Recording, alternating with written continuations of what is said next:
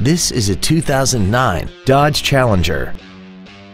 This coupe has a 5-speed automatic transmission and a 6.1-liter V8.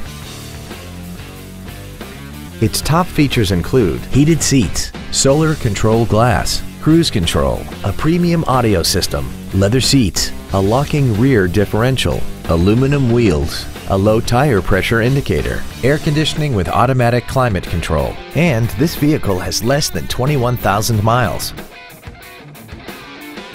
This Dodge has had only one owner and it qualifies for the Carfax buyback guarantee. We invite you to contact us today to learn more about this vehicle.